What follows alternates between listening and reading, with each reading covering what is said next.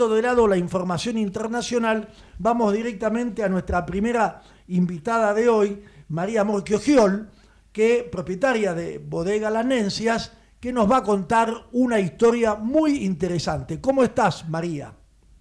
Hola, buen día, muy buenas tardes, perdón, muy bien, ¿cómo están ustedes? Muy bien, gracias, buenas tardes. Nosotros, a pesar de no tener acá ningún vino delante ni nada, estamos bastante bien. Vos, en cambio, debes estar muy bien acompañada.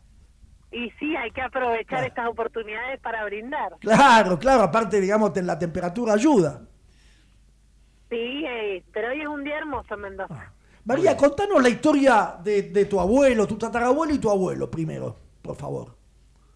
Bueno, mis tatarabuelos vinieron a la Argentina y cuando ellos llegaron, llegan a Córdoba, pero ellos, eh, ellos venían de Italia, el pueblo de origen de la familia Giol es San Polo di Piave. En el. Ellos venían de Italia, sí, ellos venían de Italia, pero mm, eh, llegan a Córdoba originalmente, pero no se adaptan porque ellos en Italia habían estado un poco en contacto con la vitivinicultura Así que siguiendo un poco a otros inmigrantes, llegan a Mendoza y en Mendoza eh, empiezan primero haciendo otros cultivos hortícolas y de a poco empiezan a, plantar una finca, después otra, otra y hace crecer la mm, bodega Giol, que la funda y la hace crecer mi tatarabuelo.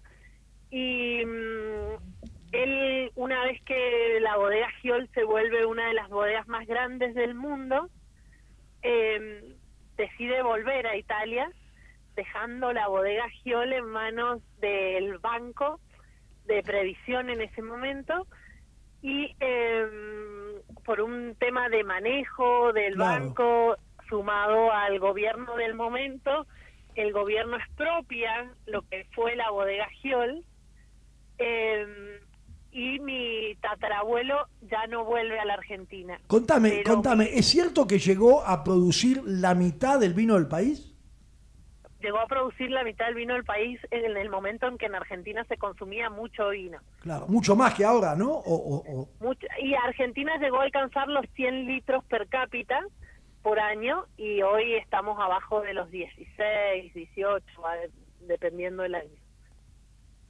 Claro, y entonces... consumía mucho más vino. Contanos, entonces, bueno, ahí, a partir de ahí, ¿cómo, cómo digamos, renace todo la... Mi, mi bisabuelo nunca quiso volver a Italia, él se, si bien él nació en Italia, él siempre se sintió argentino, así que él decide quedarse en Argentina cuando su familia vuelve a Italia y su papá le deja una tierra que es eh, la finca de Esperanza, que es a partir de la finca en la que hoy seguimos haciendo nuestros vinos, eh, se la deja y a partir de ahí vuelve a empezar ya en una con una bodega mucho más chica.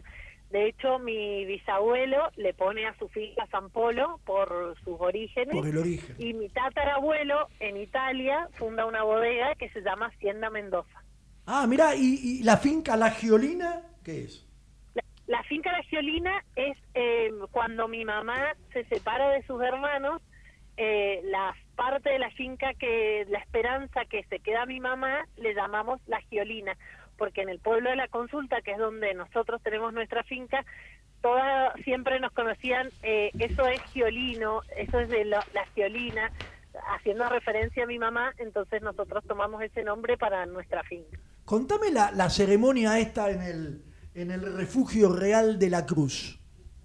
Bueno, nosotros, en mi, mi, abuelo, mi abuelo Giol, él amaba los caballos, entonces desde chicos siempre, siempre, siempre nos enseñó a andar a caballo, nos, de chicos teníamos la obligación y ya después eh, se transformó en una pasión de andar todos los días, él nos llevaba a la finca todo el verano, a pasar los tres meses del verano con ellos, y ahí todos los días teníamos que andar a caballo. Entonces nos fue creando esa opción, sumado que mis papás son muy amantes de la montaña, entonces todos los años vamos al Real de la Cruz, que es un refugio del ejército que está a dos días a caballo de la de Mendoza, no se puede llegar en auto. No hay otra forma de llegar que no sea a caballo.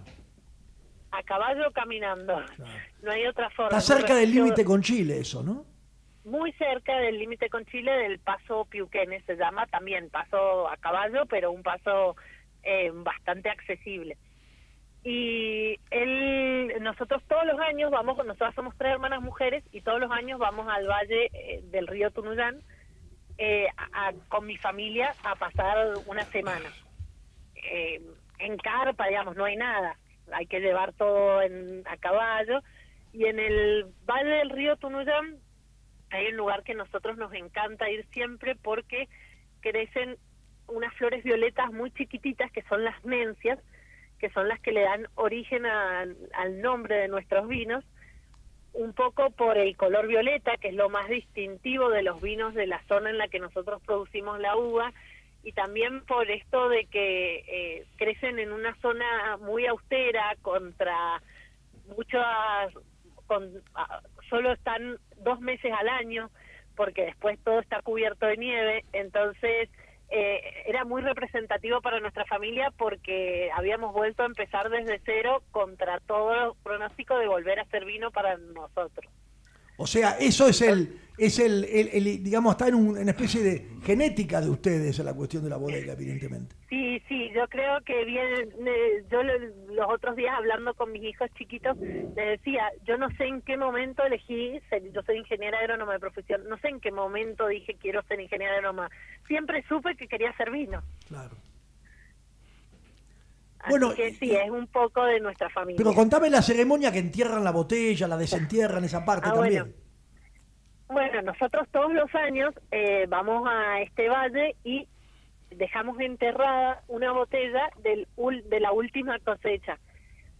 La idea de volver al año siguiente, brindar allá, tomárnosla y enterrar una botella nueva. Lo cual es bastante complicado porque llevar una botella en el lomo del caballo no es tan simple como uno dice de una botella y la entierro. Es toda una ceremonia para nosotros el eh, llevar la botella y volverla a encontrar, que nos pasa muchos años que nos demoramos mucho en encontrarla. Contame qué tipo de vinos hacen ustedes en la, en la, en la finca. Bueno, nosotros, en las nosotros fincas, estamos sí, nosotros tenemos dos fincas. Nosotros estamos ubicados en el Valle de Uco y mm, en la zona del Valle de Uco es muy, lo más distintivo son los Malbec. Nosotros hacemos eh, mayoritariamente vinos tintos, pero hacemos vinos de distintas gamas. Hacemos Malbec, Bernet Franc y Merlot. Y después un blend de estas tres variedades. Un poco porque fueron las variedades que mi abuelo plantó en la finca, las que él eligió para la zona, y el Malbec es lo más característico de Mendoza, bueno, de Argentina y en especial del Valle de Uco. Arturo Cuatro tiene una pregunta. Hola, ¿cómo estás, María? Buenas tardes. Sí, buenas tardes. Te voy a contar una anécdota que seguramente vos no, no la sabés. Hace 40 años atrás, 1983, el embajador de Taiwán, que en ese momento era encargado de negocio porque había roto relaciones con Argentina y estaba como encargado de negocio, me llama y me dice que quiere que hagamos una misión a Taiwán, porque a Taipei, porque bueno, porque necesitaba que nos pusiéramos presentes. Entonces armé una delegación y llevé, bueno, contactamos a la bodega Giol y llevamos 1.200 botellas de vino porque dice, yo no les pago, llévese el vino, con esto véndanlo. Y así fue, hicimos, armamos todo allá en, Taipei, fue exitoso. Y cuando empezamos a vender el vino, me dice, no se puede vender el vino. Ah, caray, y ahora llévenselo de vuelta. Bueno, el costo era muy alto. Y bueno, si bien se había hecho contacto para que la gente, digamos, firmara un acuerdo que paradójicamente los taiwaneses no tenían vino, o sea, no tenían cultivo de vino, pero tuvimos que firmarlo y con los años ellos están fabricando vino, o produciendo vino. Bueno, la razón fue lo siguiente, ¿qué hacemos con las 1.200 botellas de vino? ¿Se tomaron? No, ah. le empezamos a regalar. Bueno, nunca he visto tantos chinos ebrios, realmente. mis, hijos, mis hijos que eran pequeños, que eran jovencitos, le daban este, una, una vincha con la, con, la, este, con la bandera argentina y, lo y veían a los taiwaneses ya bailando entre el vino, que nunca habían tomado vino, porque el vino era una, una bebida, eh, digamos, desconocida, pero este, felizmente pudimos distribuir y hacer a los, taiwaneses tomarse 1.200 botellas de vino Giol. Disfrutaron un poco de Argentina. Un montonazo, un montonazo. Claro que sí. María, contame un poco cómo es eh, la, la venta de ustedes, es decir, dónde lo ven. Primero, cómo se llama el vino, cuál es el nombre del portal donde uno lo puede conocer y cómo lo puede comprar y dónde va la producción. Bueno, nosotros, eh, nuestro vino es Valle Las Nencias, en honor a esto que hablábamos recién. Em, nuestra web es eh, lasnencias.com.ar. Las Nencias, Eh, con N. Ajá, con N y C, lasnencias.com.ar. Y el vino está disponible en varias vinotecas en Buenos Aires. El, lo distribuye Baliquors. Em, después también estamos presentes en otras provincias y nuestro mm, principal mercado es Estados Unidos. Estados Unidos se lleva el 50% del vino que producimos. Qué bueno. ¿Y Eh, dónde, dónde lo vendían en Estados Unidos? En- no me digas que lo vendían en California porque me desmayo. No, claro. En California se vende muy bien el Ah. vino, es un buen mercado California eh, para nosotros, pero esto es una particularidad de nosotros. Tenemos un muy buen nicho de mercado en el estado de Washington, en Oregón. Eh, después vendemos. Ese es un estado del norte. en- ah, claro, en la costa este de Estados Ah. Unidos. Eh, y después Nueva Jersey y Nueva York son dos muy buenos mercados de vino para Estados Unidos. ¿Y hace cuánto que exportan ahí? Nosotros empezamos, arrancamos con Valle de las Mencias eh, fraccionando Bueno, parece. Hola. Dificultades técnicas. antes que el mercado interno. En un momento te dejamos bueno, de escuchar. Disculpame, María, que nos perdimos algo. Vos me estabas hablando Bien. cómo comenzaron la exportación y se, y se cortó y ahora Nosotros en el volviste. 2009, Sí. en el 2009 eh, empezamos a fraccionar Valle de las Mencias y el primer mercado fue eh, Estados Unidos. Qué bien. En Miami fue el- la primera venta de vino que hicimos. ¿Y Y luego de dónde exportan? venim- Aparte de Estados Después Unidos. exportamos también a España, Canadá. Exportar, exportar Eh, vino a España es todo un logro, María, de calidad, ¿no? Sí, la verdad que es, es un mercado complicado en cuanto a calidad, pero es un mercado en el que hoy hay mucho argentino pidiendo cosas de Argentina también. Ah, o sea que hay una demanda argentina casi, argentina en España. Sí, sí, sí, es, eh, hay mucho, bueno, el vino se vende principalmente en restaurantes argentinos, carnicerías argentinas, es como que hay un ¿Y mucho ¿Cómo, cómo, requerimiento cómo hacen de la, exportación esa? ¿Ustedes van y desarrollan el canal o hay no hay mayorista de exportación? ¿Cómo funciona el, el, eh, el desarrollo del, mira, digamos, del producto? Mucho el vino se desarrolla em, con importadores directos, digamos, uno contacta directamente al importador, muchas veces por rondas de negocios, ferias internacionales de vino, em, conocidos, en la industria del vino tiene la particularidad que nos conocemos mucho todos y es una industria muy generosa en la que todos tratamos de ser colaborativos, así que em, eso se disfruta un montón y ayuda mucho a que el negocio del vino haya ido siempre para adelante. Y tienen, vos, Eh, vos me comentabas que le quitaron las retenciones, gracias a Dios. Claro, ahora de pocos días, Exactamente. a- claro, sí. O sea, a partir del primero de septiembre, en teoría, Ah. no tendrías retención el vino. Así que ¿Cuánto era? ¿Cuánto era la todavía no entra en vigencia. Cuatro y medio. Cuatro y medio. Bueno, y eso, ¿cuáles son las principales dificultades para exportar, María?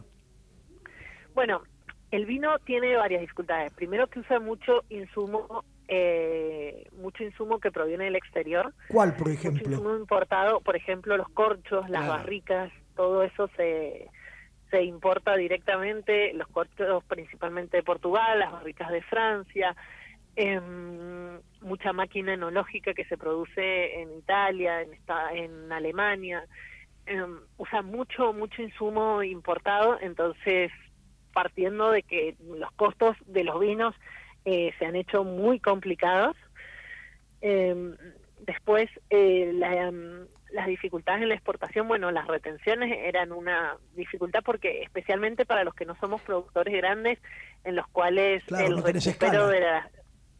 Exactamente, el recupero es muy complicado. Eh, nosotros exportamos de a pallet, un pallet son 840 botellas de vino. No es eh, un número significativo, entonces eh, armar la escala, la logística, tener distribución, importador, eh, se hace muy difícil. Después Mendoza está muy lejos de cualquier centro de cualquier puerto, digamos, estamos lejos para salir, generalmente las exportaciones salen por Chile, porque salir por Buenos Aires se nos hace muy lejos y muy caro. Eh, y después eh, los requerimientos, es una bebida alcohólica, entonces eh, los requerimientos en cada país eh, se hacen cada día más estrictos. María, ¿cuánto, cuánto es más o menos, así aproximadamente, el, el, la participación, la ponderación del corcho en el costo total de producción del vino? A ver, más o menos para que tengas una idea, un tapón de corcho cuesta entre 50 centavos de euro y un euro 50 en una botella que pues, al productor no le llega arriba de los 4 euros. Ah, es, es significativa el 25%. Sí, es significativo. Es un precio, es, un, es, grande. La barrica es otro costo que los vinos con madera eh, tienen un impacto muy grande. Una barrica de 225 litros cuesta en Argentina 1.200 euros. Ahora, y, y es verdad que el mercado italiano y el español tienen mucho añejamiento en botella y no en barrica. Bueno, hay un poco de todo, es como en todos lados, digamos. Eh, cada uno tiene su receta para hacer vino. Eh, no diría que se hace mucho anejamiento en botella, sino que se usa mucho barrica no tan nueva como se usa en los mercados del Nuevo Mundo. En Argentina, en Estados Unidos, se usa mucho barrica nueva. Se le da un uso, dos usos, tres usos. Al cuarto uso, las barricas eh, casi pasan a descarte. Eso para que, para que adquiera el gusto a madera, ¿no? Exactamente. Mientras que en Europa las, las crianzas en barricas son suelen ser más largas, se puede también tener los vinos más tiempo en las barricas, pero las barricas se usan por mucho más años. Eh, y, para, y para terminar, eh, María, ¿ustedes se ocupan también del asunto de los corchos? Sí, en mi familia eh, trabajamos también en la importación de corchos y barricas a la Argentina desde Europa. O sea que tienen todo el eh, negocio atado. No, no te vas a creer, es un negocio muy complicado, es un negocio, para la Argentina es un negocio muy difícil porque un vino que se guarda 24 meses es tener mucho patrimonio inmovilizado mucho tiempo. yo no sé si lo mencionaste, María, pero el productor de corcho también es Cerdeña, ¿no? Sardeña es un muy buen productor de tapones de corcho. Exactamente. Bueno, ahora estamos pensando con Arturo, vamos a hacer un viaje ahora en agosto a Sardeña para desarrollar el mercado, ¿no? Exactamente, vamos a ver si le hacemos la competencia. Dale. Bueno, muy bien. Bueno, María, yo te agradezco muchísimo, la verdad, tu, tu tiempo, tu disponibilidad. Espero que el negocio siga para adelante. Eh, en cualquier momento también vamos a, o ustedes, van a exportar a Italia y con eso tenemos un objetivo máximo, ¿no? Exactamente, sí, sí, la verdad que siempre ha estado entre nuestros objetivos, es un mercado muy complicado, pero bueno, uno tiene una parte del corazón en Italia, así que estamos siempre buscando la manera de lograr ese objetivo. No olvides también de exportar a Taiwán, ¿eh? que tienen firmado un acuerdo con Argentina, ¿eh? hace 40 años atrás. Bueno. Ha habido, ha habido un intrépido empresario que ya inició en Taiwán el consumo de vino. Perdí un montón de plata. bueno, te, agradecemos muchísimo, María. Gracias a ustedes. Y, que, y que tengas, digamos, un buen año de trabajo. Gracias. Eh, éxito, ¿eh? Éxito. Muchas gracias. Un beso grande. Chao, chao, chao. Ha sido María Morquio Giol, propietaria de bodega Las Nencias.